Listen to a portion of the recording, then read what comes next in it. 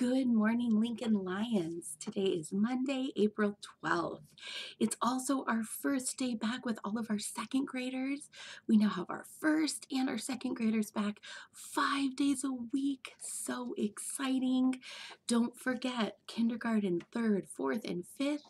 Next Monday, you get to start coming five days a week. So exciting.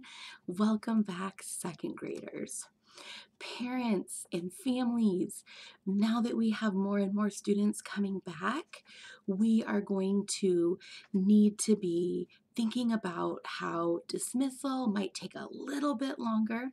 And so we're really hoping that families can have lots of patience and grace as we continue to dismiss students in a safe and organized way. And so it might take a little bit longer as we add more and more students back.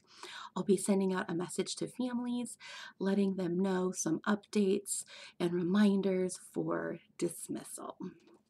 Okay, for lunch today, for lunch today we have chicken nuggets or a PB and J sandwich. It's also tater day and you also get roasted garbanzo beans. Yum. Um, tomorrow's lunch is chicken nuggets or a deli sandwich. It's also tater day, and you get to have roasted garbanzo beans as well. So be thinking for today, are you gonna have chicken nuggets or a PB and J sandwich? And tomorrow is chicken nuggets or a deli sandwich. All right.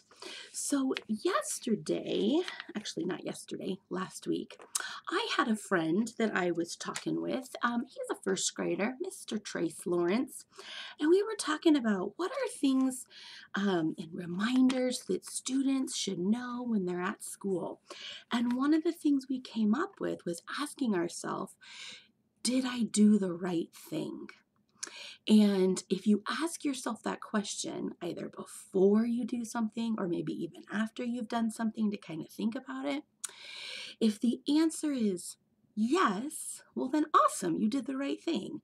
If the answer is maybe not, then you have an opportunity to think about it and think about what would have the right thing been. And so I love that because Trace and I came up with these two ideas that were do the right thing and do your best. And that made me think about our character trait this month, which is integrity, always doing the right thing. So today and every day, think about asking yourself in each thing you do, am I doing the right thing? Am I doing my best? And if the answer is not yes, take a minute and think about it. Okay, let's go ahead and we'll stand for the flag salute. Ready? Begin.